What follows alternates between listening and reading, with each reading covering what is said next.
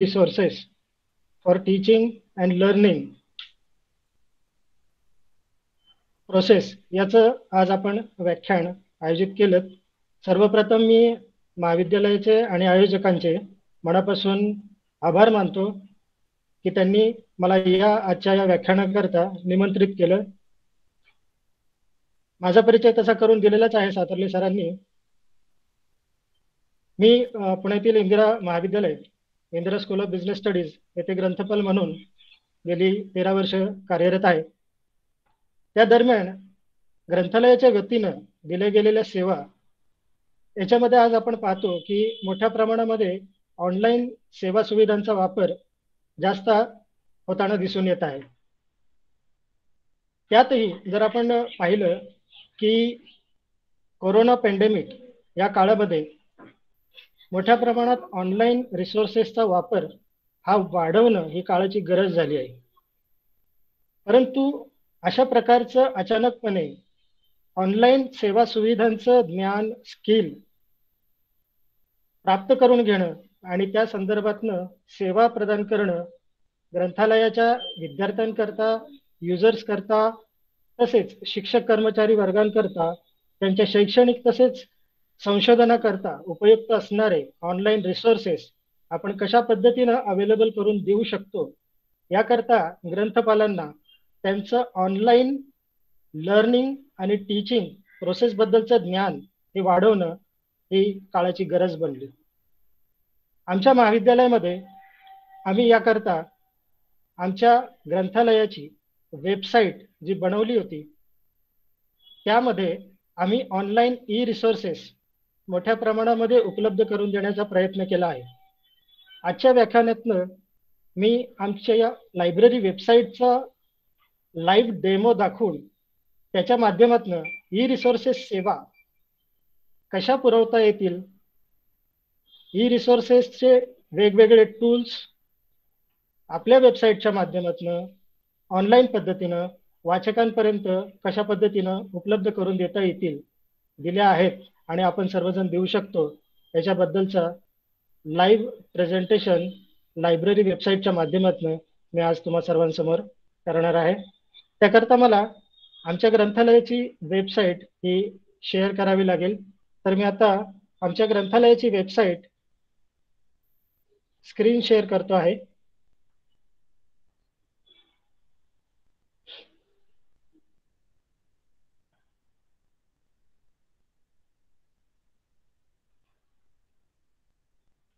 Bansode sir screen दिसते माझी? दिसते स्क्रीन दिसते सर.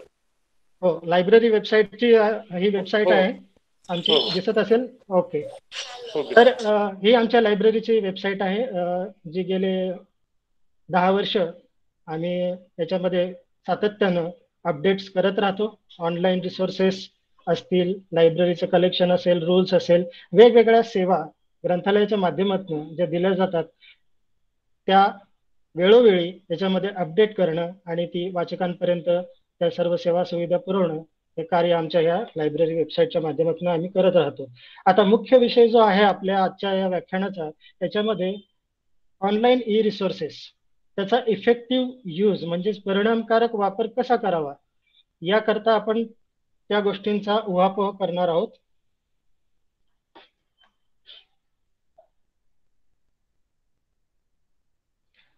आपण पाहिलं असेल मी ई कंटेंट या टॅबवर आता क्लिक केलेला आहे. त्याच्यामध्ये M H R D U G C यांनी काही इनिशिएटिव्ह घेतले होते कोविड नाईन्टीनच्या काळामध्ये ज्या काळामध्ये विद्यार्थ्यांना वाचकांना आणि ग्रंथालयाच्या वापरकर्त्यांना प्रत्यक्ष ग्रंथालयात जाऊन ग्रंथ पाहणे आणि त्या संदर्भातले त्यांचे जे काही आवश्यक गरजा असतील शैक्षणिक गरजा त्या गरजांची पूर्तता ही पारंपरिक पद्धतीने होणं तसं अशक्य होतं. याकरता M H R D UGC यांनी जे काही इनिशिएटिव्ह घेतले त्यातले काही मुख्य दहा इनिशिएटिव्ह ऑनलाईन लर्निंग करता जे उपलब्ध करून दिले ते आम्ही आमच्या ग्रंथालयाच्या वेबसाईटवर अपलोड केले. त्या प्रत्येक मॉड्यूलचा प्रत्येक रिसोर्सचा आज आपण थोडक्यात आढावा घेणार आहोत. सर्वप्रथम आपल्याला दिसत असेल Swayam online courses which provides access to best teaching learning resources, which were earlier delivered on the Swayam platform, may be now viewed by any learner free of cost without any registration. याचाच अर्थ स्वयं ह्या पोर्टलच्या माध्यमातून M H R डीने teaching learning resources म्हणजेच e books e journals त्या व्यतिरिक्त काही ऑनलाईन कोर्सेस हे अवेलेबल करून दिले. तसे काही मॉड्यूल्स तयार के केले गेले. हे आपण त्या वेबसाईटच्या माध्यमातून पाहायला गेलो तर या वेबसाईटवर आपल्याला दिसत असेल स्वयं ऑनलाईन कोर्सेस यामध्ये इंजिनिअरिंग रिलेटेड नॉन इंजिनिअरिंग तसेच प्राथमिक शाळेतले विद्यार्थी माध्यमिक शाळेतले विद्यार्थी एम एस सी आर टीचे टेक्स्ट बुक्स इत्यादी इत्यादी या ऑनलाईन कोर्सेसच्या माध्यमातून या वेबसाईटवर उपलब्ध करून देण्यात आलेले आहे. त्या व्यतिरिक्तही काही other I C T initiative आपल्याला दिसत असतील. Read e books learn robotics DTS TV T V channels मुळात हे दहा जे ऑनलाईन टूल्स दिलेले आहेत ते एकमेकांशी इंटरकनेक्टेड आहेत. मोठ्या प्रमाणामध्ये या प्रकारचे ई रिसोर्सेस या काळामध्ये वापरले गेले पाहिले गेले. विद्यार्थ्यांनी त्याचा मोठ्या प्रमाणात उपयोग करून घेतला. यामध्ये जर आपण पाहिलं आता नॉन इंजिनिअरिंग कोर्सेस जे आहेत यामध्ये आपण जर पाहिलं तर ह्युमॅनिटीज असतील सोशल सायन्स असतील मॅनेजमेंट सायन्स असतील त्याबद्दलचे आपल्याला मोठ्या प्रमाणात अवेलेबल होतात.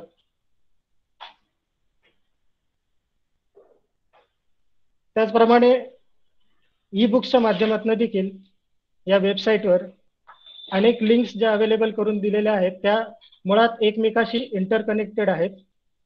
जसं की आता आपण ई टेक्स्ट बुकला क्लिक केलं तर एन डी एल म्हणजे national digital library of India हा एक उपक्रम भारत सरकारच्या वतीनं राबवला गेला राबवला जातोय आणि आत्ताही मोठ्या प्रमाणामध्ये त्याचे वाचक उपलब्ध आहेत.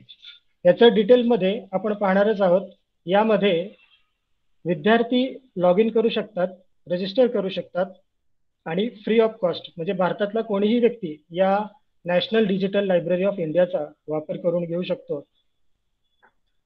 त्यातनं त्याला आवश्यक असलेले research related academic related e books असतील ई जर्नल्स असतील व्हिडिओज असतील ऑडिओज असतील हे सर्व प्रकारचे माध्यम प्राप्त करून घेऊ शकतो. हे सर्च करताना subject wise title wise category wise language wise learning resource wise असं फिल्टर केल्याच्यानंतर आपल्याला त्याचे रिझल्ट उपलब्ध होतात. जसं की मी आता यामध्ये सोशल सायन्स हा सब्जेक्ट जर मी सर्च करतो आहे तर त्याचे रिझल्ट आपल्याला उपलब्ध होतात. पण पाहू शकता ह्या प्रकारचे रिझल्ट आपल्याला अवेलेबल झालेले आहेत.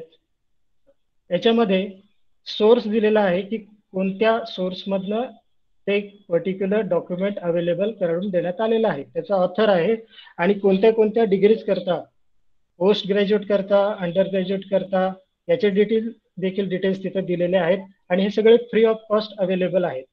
यामध्ये समजा मला आता हा स्मॉल स्केल टेलरिंग इंडस्ट्री हा डॉक्युमेंट पाहायचा असेल तर त्याचे सायटेशन आपल्याला इथे दिसते आणि या ठिकाणी ॲड ऑफ पी डी एफमध्ये ती P D F file available आहे ती आपण ओपन करून रीड करू शकतो. ही हे पर्टिक्युलर डॉक्युमेंट जे आहे इकॉनॉमिक अँड पॉलिटिकल विकली या जर्नलमधलं आर्टिकल आहे जे फ्री ऑफ कॉस्ट वाचक वाचू शकतात. त्याचा अध्ययन करू शकतात वापर करू शकतात. त्यानंतर काही मुक्स कोर्सेस आहेत जे होस्ट करतात लर्निंग मटेरियल स्वयं ह्या वेबसाईटवरचे काही अर्कायवल कोर्सेस असतात ते देखील या प्लॅटफॉर्मवर ठेवण्यात आलेले आहेत. त्यानंतर ई पी जी पाठशाला हे एक आपण पाहतो आहोत. यामध्ये हा देखील एक गेटवे आहे. जे काही पोस्ट ग्रॅज्युएट कोर्सेस आहेत त्याकरता जर्नल्स ई बुक्स आणि वेगवेगळ्या विषयांवरचे आर्टिकल्स हे या ई पी जी पाठशाला या वेबसाईटच्या माध्यमातून आपल्याला उपलब्ध आहे. यामध्ये वेगवेगळे कोर्सेस अपलोड केलेले आहेत. साधारण बावीस हजारपेक्षा जास्त मॉड्यूल्स टेक्स्ट आणि व्हिडिओचे या वेबसाईटवर आपल्याला उपलब्ध होतात. आपण जर विषयानुसार पाहायचं झालं समजा आपल्याला इकॉनॉमिक्स हा विषयाचे पाचशे सदुसष्ट डॉक्युमेंट्स पाहायला मिळत आहेत यामध्ये हे जे मॉड्यूल्स तयार केले गेलेले आहेत त्याच्यामध्ये आपण पाहू शकतो की ह्या इकॉनॉमिक्स सब्जेक्ट करता quantitative method fundamental macro economics advance macro economics यातला जो काही सब्जेक्टचा पेपर आपल्याला स्टडी करायचा आहे त्याचं मॉड्यूल आपण टॉपिक वाईज निवड करू शकतो. For example role of government under cooperation and competition तर ई ई टेक्स्टमधनं आपल्याला त्याचं पूर्ण डॉक्युमेंट अवेलेबल होतं. हे आपण पीडीएफच्या माध्यमातून इथे पाहू शकतो.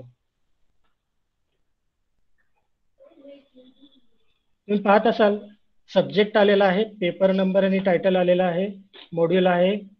आणि मॉड्यूल टॅग आहे. यामध्ये जे इन्व्हेस्टिगेटर असतात त्यांची देखील माहिती या ठिकाणी उपलब्ध आहे. या मॉड्यूलमध्ये या पर्टिक्युलर सब्जेक्टसाठी काय कंटेंट्स आहेत त्याची माहिती देखील दिली गेलेली आहे. त्या कोर्समधनं आउटकम्स काय काय मिळणार आहेत काय शिकणार आहोत याबद्दलची माहिती दिली आहे. आणि टॉपिकशी रिलेटेड डिटेल्स आपल्याला एकत्र या ठिकाणी पी डी एफ फाईलमध्ये पाहताना आपण दिसत आहोत. यामध्ये आपण जर पाहिलं तर ही जरी ब्रीफ माहिती असली तरी हा कोर्स कंप्लीट करण्याकरता त्या विषयाशी संबंधित जे काही मॉड्यूल्स आपल्याला अवेलेबल आहेत ते प्रत्येक मॉड्यूल्स आपल्याला अभ्यासावे लागतील. म्हणजेच काय की एखादा पर्टिक्युलर सब्जेक्ट हा पूर्ण करण्याकरता त्यातले पेपर्स आणि टॉपिक्स हे जर आपण कव्हर केले तर घर बसल्या फ्री ऑफ कॉस्ट आपण सेल्फ लर्निंग करू शकतो ई पी जी पाठशाला या वेबसाईटच्या माध्यमातून. त्यानंतर आपण पुन्हा पुढचा आपला जो रिसोर्स आहे e content course wise in U G subject यामध्ये वेगवेगळ्या प्रकारचे ई कंटेंट्स आहेत. सत्याऐंशी अंडर ग्रॅज्युएट कोर्सेस हे चोवीस हजारापेक्षा जास्त ई कंटेंट मॉड्यूल या वेबसाईटवर अवेलेबल आहेत. हे मॉड्यूल साधारणपणे स्वयंचा जो प्लॅटफॉर्म आहे त्याप्रमाणेच आहेत. त्यामुळे आपण ह्याचं डिटेलमध्ये नाही पाहणार आहोत. स्वयंप्रभा हे जे प्लॅटफॉर्म आहे हा एक वेगळ्या पद्धतीचा प्लॅटफॉर्म एम एच आर डीच्या इनिशिएटिव्हमध्ये घेतला गेलेला. स्वयंप्रभाच्या माध्यमातून बीटीएस टी एच चॅनेल्स हे ग्रुप केले गेले. बत्तीस वेगवेगळ्या प्रकारचे D T H channels telecast केले गेले ज्याच्या माध्यमातून वाचकांना विद्यार्थ्यांना एखाद्या विशिष्ट विषयासंदर्भातलं ज्ञान मिळवण्याचा किंवा उपलब्ध करून देण्याचा हा एक प्लॅटफॉर्म एम एच आर डीच्या इनिशिएटिव्ह मधनं घेतला गेला. याच्यामध्ये arts science commerce performing arts social science humanities engineering साधारणपणे सर्व शाखांचा अंतर्भाव या स्वयंप्रभा प्लॅटफॉर्मच्या माध्यमातून करण्याचा प्रयत्न केला गेला आहे.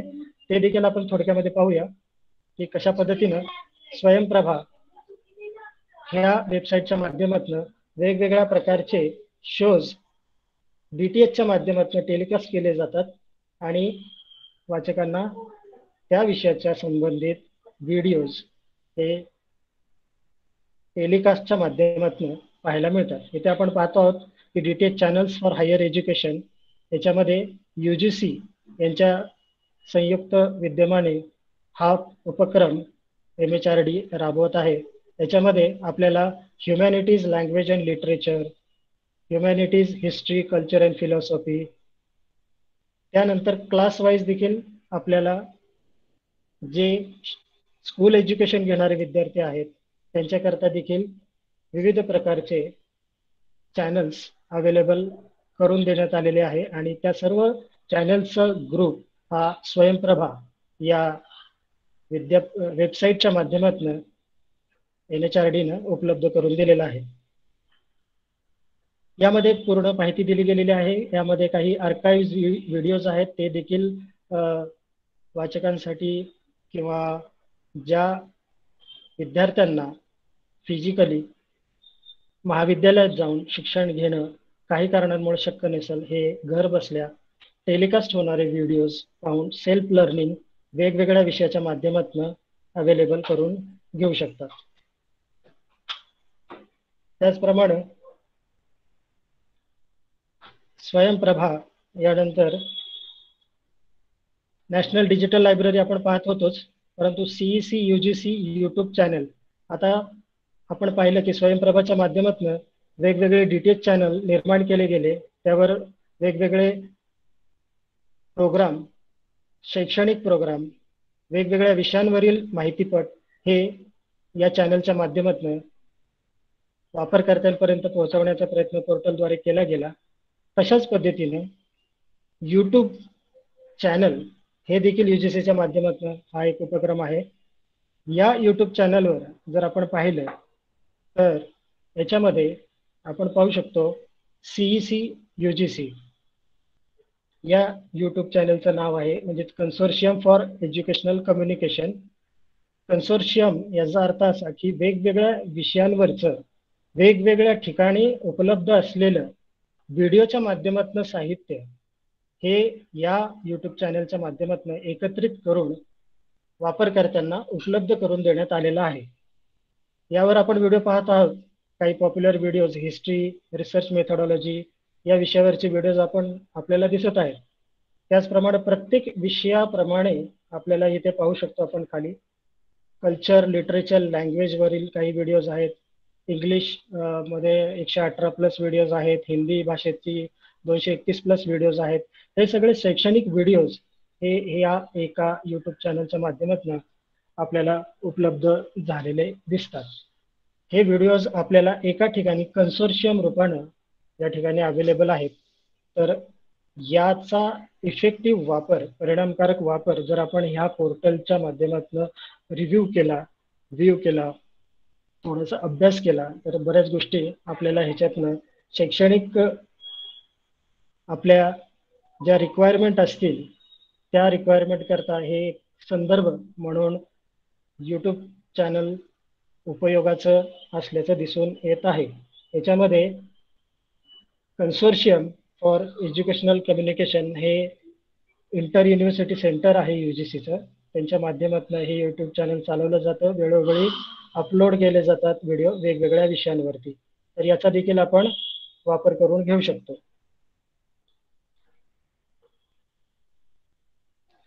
यानंतर नॅशनल डिजिटल लायब्ररी आपण मागे थोडक्यात पाहिलंच. थोडंसं आणखीन ब्रीफमध्ये आपण याच्याकडे पाहूया. यामध्ये आपण पाहतो आता हा नॅशनल डिजिटल लायब्ररीचा वेब पोर्टल आहे वेबसाईट आहे. याच्यावरती तुम्ही पाहत असाल स्टडी ॲट होम हे आपल्या देशातलं एकमेव असं पोर्टल आहे अशी लायब्ररी आहे जिथे सर्वाधिक म्हणजेच आपण पाहू शकत असाल आकड्यांमध्ये साधारण सात कोटी तेवीस लाख रिसोर्सेस वेगवेगळ्या प्रकारचे. मग त्यामध्ये ई बुक्स असतील ई जर्नल्स असतील व्हिडिओज असतील ऑडिओज असतील सर्व प्रकारचे ई रिसोर्सेस यावर उपलब्ध आहेत. यामध्ये वेगवेगळे विषय हे उपलब्ध करून दिलेले आहेत. Science humanities literature law and management त्याचप्रमाणे कोविड नाईन्टीन या विषयावरती रिसर्च रिपॉझिटरी ह्या वेबसाईटवर अवेलेबल आहे. यामध्ये स्कॉलरली पब्लिकेशन्स आहेत जर्नल कॉन्फरन्सेसचे डॉक्युमेंट्स आहेत. त्या व्यतिरिक्त काही फीचर्ड कलेक्शन देखील अवेलेबल आहेत. पूर्वी मी जसं सांगितलं त्याप्रमाणे ब्राउजमध्ये आपल्याला टाईपनुसार सब्जेक्टनुसार रिसोर्सनुसार आणि लर्निंग रिसोर्सनुसार आपण सर्च करू शकतो. त्यामध्ये फिल्टर अवेलेबल आहेत. त्याचप्रमाणे लँग्वेजेस देशभरात हे पोर्टल वापरलं जात असल्यामुळं देशभरातल्या वेगवेगळ्या लँग्वेजमध्ये विद्यार्थी याचा वापर करू शकता इथे आपण एक उदाहरणादाखल ह्युमॅनिटीज या विषयावरील काही रिसोर्सेस पाहूया. ह्युमॅनिटीजमध्ये आपण पाहत आहोत general history geography sociology economics अशा विविध शाखा ह्युमॅनिटीज या शाखेच्या अंडर अवेलेबल आहेत. यामध्ये जर आपण सोशॉलॉजी या विषयाचं पाहायचं म्हटलं तर त्यावर व्हिडिओ लेक्चर्स अवेलेबल आहेत.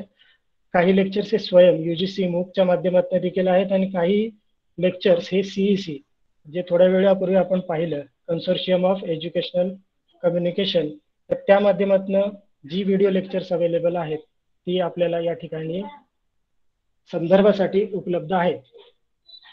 आता या ठिकाणी प्रत्येक वेळी आपल्याला लॉग इन करणं गरजेचं नसलं तरी या माध्यमातून तुम्ही रजिस्टर करू शकता आणि लॉग इन करू शकता जे की फ्री ऑफ कॉस्ट आहे. देशातील कोणताही वाचक हा वंचित राहू नये म्हणून मोठ्या प्रमाणामध्ये याचा वापर वाढावा म्हणून government of India minister of H R D यांच्या माध्यमातून हा एक सोर्स अवेलेबल करून देण्यात आलेला आहे. त्याचप्रमाणे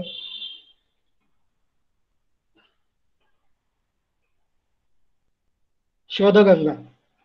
शोधगंगा ही एक डिजिटल रिपॉझिटरी आहे. ज्यामध्ये दोन लाख साठ हजारापेक्षा जास्त देशातल्या संशोधकांनी लिहिलेले प्रबंध थिसिस अँड डेझर्टेशन हे डिपॉझिट केलेले आहेत इतर वाचकांच्या संदर्भाकरिता. याचा देखील वापर आपण ई रिसोर्स या माध्यमातून करू शकतो. यामध्ये आपण पाहतात रिझर्वियर ऑफ इंडियन थिसिस याच्यामध्ये आपण जो प्रबंध पाहत आहोत त्याचं सायटेशन देखील आपण यातनं प्राप्त करू शकतो. सायटेशन हेल्प आपण पाहत आहोत हाऊ टू साईट त्यानंतर इथे आपण खाली पाहिलं तर विद्यापीठांनी देशभरातल्या विद्यापीठांनी ज्या ज्या प्रमाणामध्ये त्यांच्या विद्यापीठातनं जे प्रबंध जमा केलेले आहेत online thesis and dissertation e T D electronic thesis and dissertation आता यात आपण पाहत आहोत सावित्रीबाई फुले पुणे विद्यापीठानं आतापर्यंत दहा हजार सातशे अडुसष्ट प्रबंध या डेटाबेसमध्ये अपलोड केलेले आहेत. या थिसिसचा आपण संदर्भ आपल्या संशोधनाकरता करू शकतो.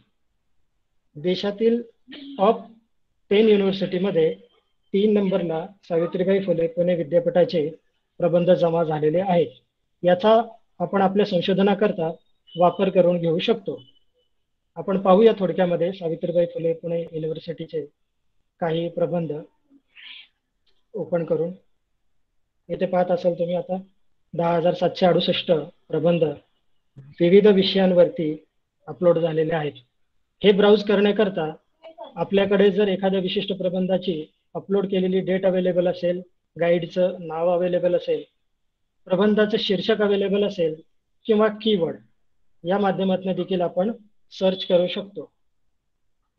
आणि थेट विषयाच्या माध्यमातून जर आपण सर्च करायचा प्रयत्न केला तर त्यात अंडर जी देखील आपले अवेलेबल प्रबंध अपलोड केलेले असतील या शोधगंगाच्या मिरर साईटची लिंक दिलेली आहे. त्या लिंकवरनं आपण प्रबंधाचे डिटेल्स पाहू शकतो. आपण पाहत असाल इंग्लिश आहे. म्हणजे किती वेगवेगळ्या प्रमाणामध्ये फिल्टर करून आपण प्रबंधाची माहिती घेऊ शकतो. साधारण दोन हजार दहा ते दोन हजार वीस या वर्षात दोन हजार अठरा प्रबंध अपलोड केले गेले. पिरियडनुसार देखील आपण प्रबंध सर्च करू शकतो. आता यामध्ये डिपार्टमेंट इन धिस युनिव्हर्सिटी एखाद्या विद्यापीठामध्ये जी वेगवेगळी डिपार्टमेंट असतात रिसर्च सेंटर असतात त्यांच्याद्वारे अपलोड केलेली प्रबंध स्पेसिफिक पाहिजे असतील तर ती देखील संख्यानुसार इथे उपलब्ध आहेत. यामध्ये आपण जर आघारकर रिसर्च इन्स्टिट्यूट या इन्स्टिट्यूटच्या माध्यमातून अपलोड केली गेलेली काही प्रबंध पाहिजे असतील तर त्याचे डिटेल्स आपल्याला इथे पाहता येतील. साधारण पासष्ट प्रबंध आतापर्यंत आघारकर रिसर्च इन्स्टिट्यूट पुणे यांनी अपलोड केलेले आहेत. यामध्ये आपण पाहतात अपलोड केलेला दिनांक आहे शीर्षक आहे रिसर्चरचं नाव आहे आणि गाईडचं नाव आहे. तर यातनं आपण आपल्याला हवा असलेल्या विषयाचा प्रबंध संदर्भाकरिता पाहू शकतो. या ठिकाणी तुम्हाला पाहत असाल डाउनलोड सायटेशन आपल्याला रेडीमेड सायटेशन हे या शोधगंगाच्या माध्यमातून अवेलेबल होतं जे आपण डाउनलोड करू शकतो आणि त्याचा संदर्भ आपल्या संशोधनामध्ये मांडू शकतो.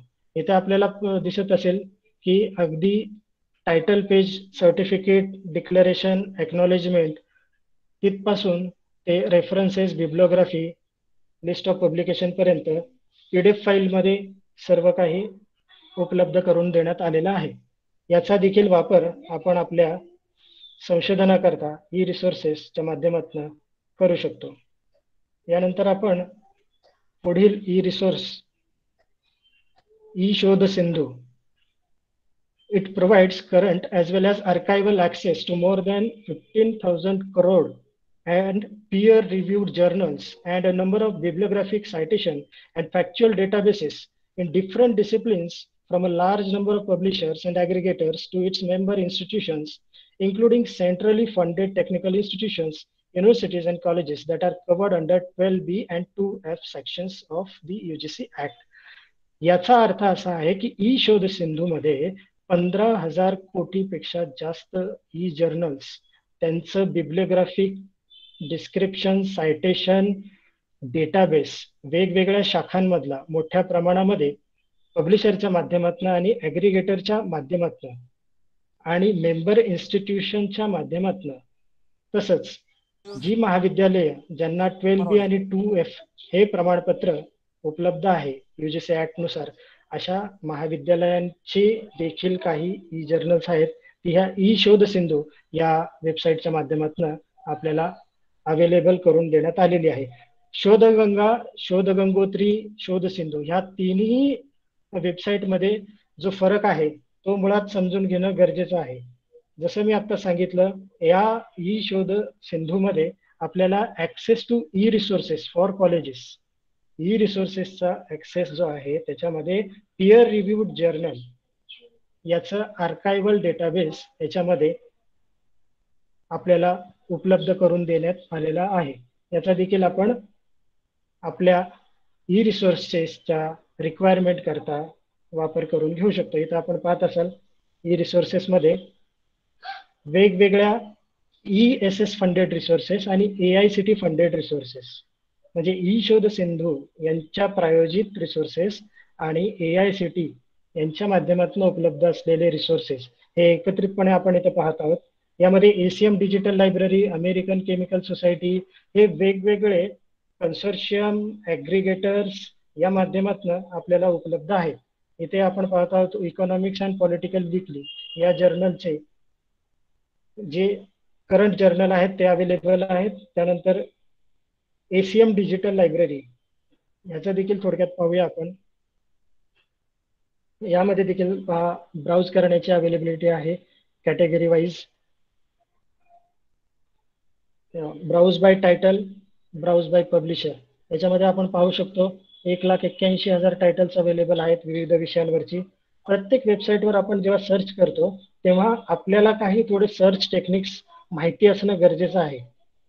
ज्यामध्ये आपण आपल्या एक्झॅक्ट रिझल्टची ॲडव्हान्स रिसर्च करून ॲडव्हान्स सर्च करून फिल्टर लावून मग तो टाईम असेल पब्लिशर असेल ऑथर असेल टायटल असेल असे वेगवेगळे फिल्टर लावून आपल्याला हवा तो रिझल्ट आपण या माध्यमातून मिळवू शकतो. आता ही पाहत असाल तुम्ही एसीएम डिजिटल लायब्ररी यावर यावर books periodicals conference proceedings thesis technical reports R F C मोठ्या प्रमाणामध्ये उपलब्ध आहेत.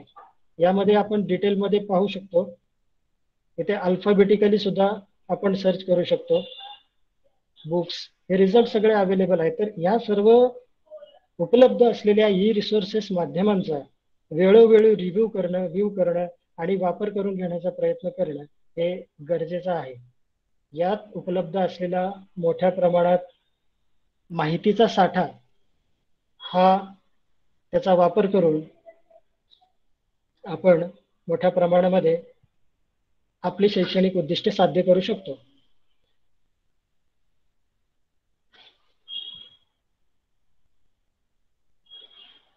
त्यानंतर आपला शेवटचा रिसोर्स आहे विद्वान. या डेटाबेसमध्ये काय आहे? विद्वान हा एक प्रकारचा डेटाबेस आहे. याच्यामध्ये आपल्याला रिसर्च क्षेत्रातील एक्सपर्ट्स यांची इन्फॉर्मेशन डिटेलमध्ये आपल्याला मिळते. म्हणजेच काय? की J P H D holder आहे जे एक्सपर्ट्स आहेत त्यांचे प्रोफाईल्स त्यांनी लिहिलेले प्रबंध त्यांची माहिती त्यांचे कॉन्टॅक्ट डिटेल्स कारण त्यांच्याबद्दल आपल्याला शैक्षणिक माहिती प्राप्त करून घ्यायची आहे त्यांच्याशी संपर्क करायचा आहे अशा वेळी एक्सपर्ट यांचा एक एकत्रित डेटाबेस उपलब्ध असावा.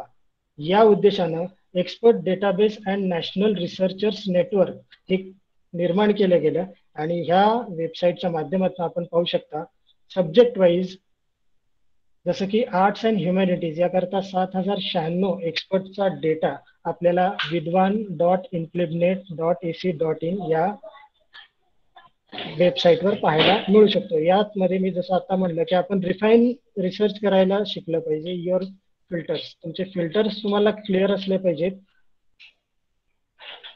त्यानंतरच आपल्याला योग्य प्रकारचा रिसोर्स अवेलेबल होऊ शकतो.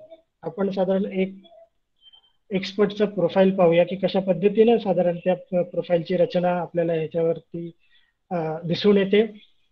या पोर्टलवरती. तर आपण त्यांचा एक प्रोफाईल व्ह्यू करूया. एक एक्सपर्टचा इथं पाहू शकता आपण त्यांचं पर्सनली इन्फॉर्मेशन आहे. एक्सपर्टाईज त्यांचं कोणत्या सब्जेक्टमध्ये आहे? त्यांचं एज्युकेशनल क्वालिफिकेशन काय आहे? एक्सपिरियन्स काय आहे? पब्लिकेशन काय आहे? त्यांनी लिहिलेले थिसिस असतात काही. त्याची माहिती देखील यावर उपलब्ध असते. तसेच त्यांचा गुगल स्कॉलर आय डी आपल्याला इथे उपलब्ध होतो. ज्याच्या माध्यमातून आपल्याला त्यांनी लिहिलेलं साहित्य हे आपल्याला प्राप्त करून घेता येतं तर अशा पद्धतीनं हे एम एच आर डी आणि युजीसी यांच्या संयुक्त विद्यमानं जे उपलब्ध करून देण्यात आलेले इनिशिएटिव्ह आहेत ऑनलाईन लर्निंग करता यामध्ये विद्यार्थी तसंच शिक्षकांनी दोघांनी या उपलब्ध असलेल्या शिक्षण स्तोत्रांचा ऑनलाईन माहितीचा वापर करून आपल्या शैक्षणिक ज्ञानात भर घालून घेण्याचा प्रयत्न करावा. तसंच हे नॉलेज शेअर करण्याचा प्रयत्न करावा. या व्यतिरिक्त आमच्या लायब्ररीच्या वेबसाईटवर काही आम्ही ऑनलाईन ई रिसोर्सेस देखील अवेलेबल करून देण्याचा प्रयत्न केलेला आहे. ज्यामध्ये आपण पाहू शकतो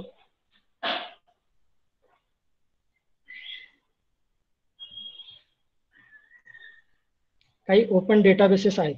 ओपन ॲक्सेस डेटाबेसेस त्याच्या लिंक्स त्याची माहिती हे देखील उपलब्ध करून दिलेली आहे.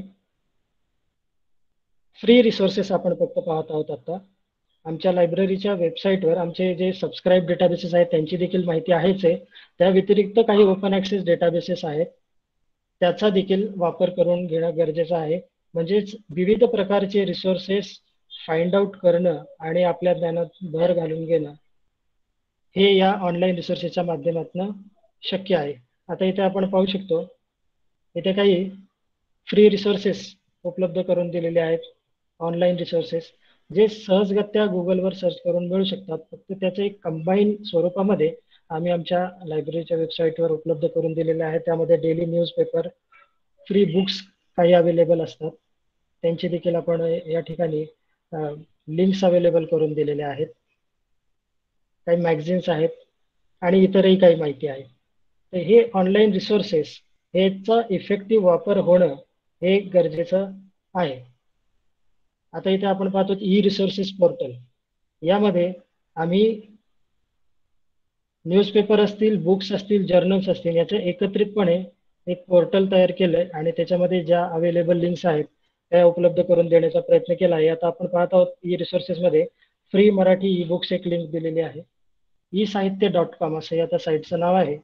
या साईटवर आपण पाहू शकता मोठ्या प्रमाणात मोठ्या प्रमाणात वेगवेगळ्या विषयांवरची मराठी पुस्तकं कथा कादंबरी उपलब्ध करून देण्यात आलेली आहे यामध्ये दरवेळेस वेगवेगळ्या पद्धतीची वेगवेगळ्या विषयांवरची ई पुस्तकं ही अपलोड केली जातात. आपण जर कादंबरी पाहायचं म्हणलं तर कादंबरी ज्या ज्या उपलब्ध आहेत ह्या पीडीएफ फॉर्मॅटमध्ये आपल्याला ई बुक्स इझिली अवेलेबल होतात.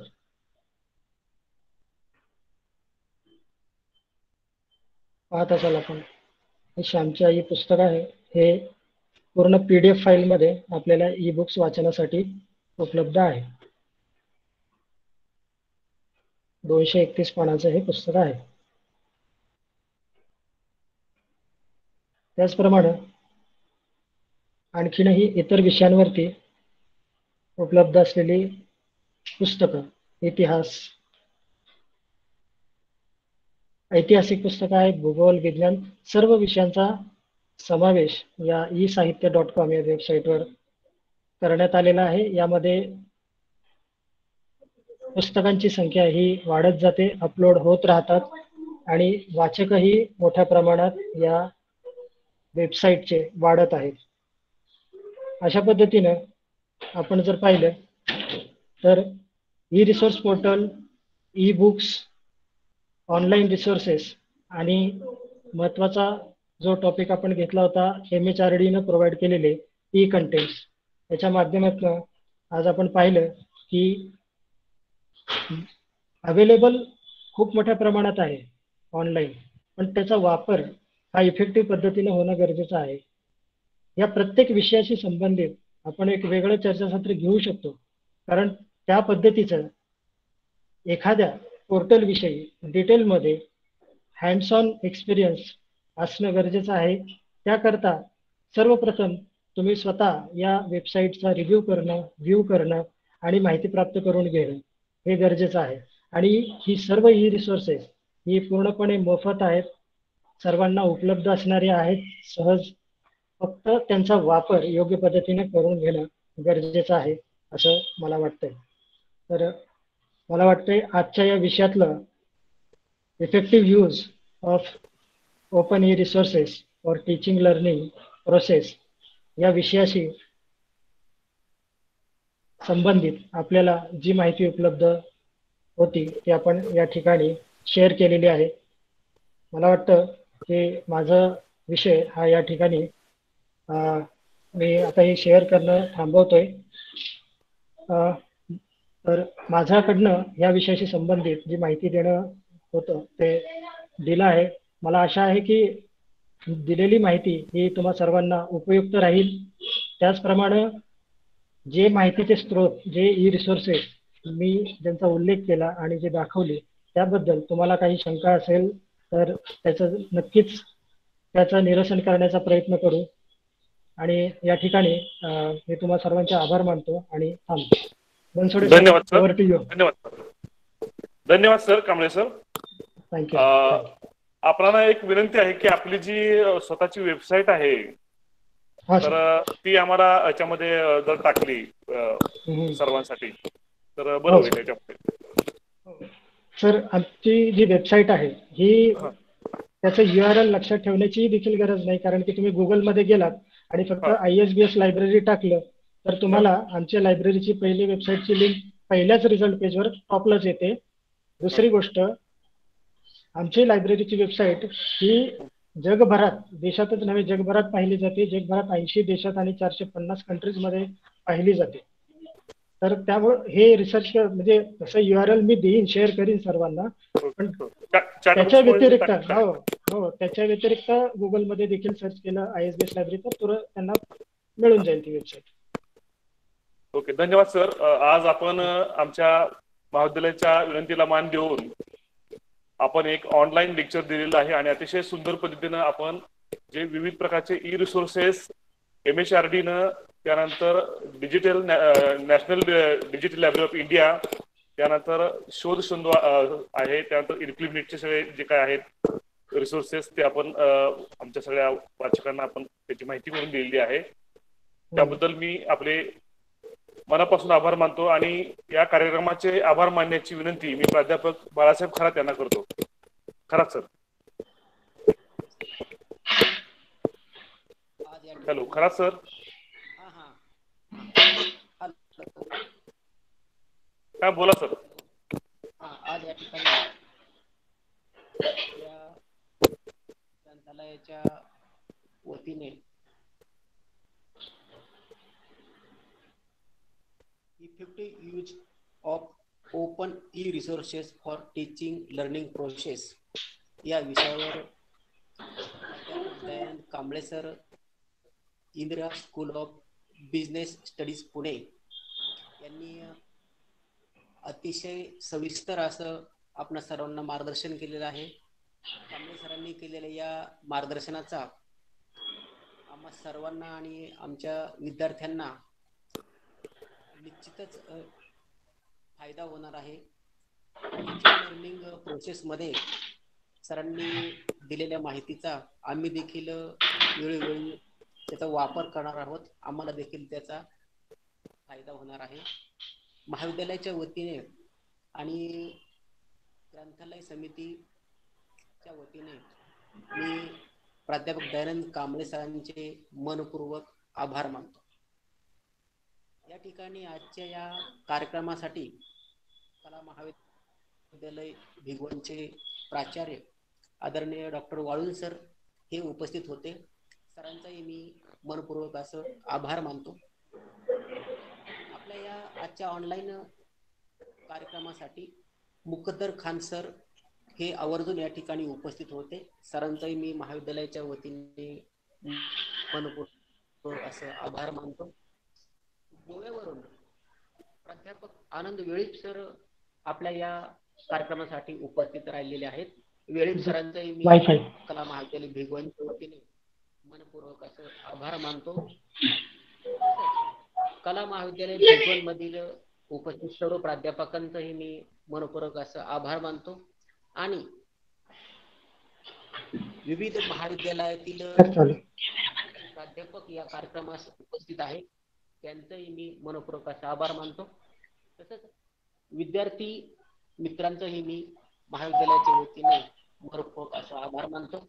आणि संयोजकाच्या वतीने हा कार्यक्रम संपन्न झाला असं जाहीर करतो. धन्यवाद. ओके धन्यवाद सर. धन्यवाद कांबळे सर.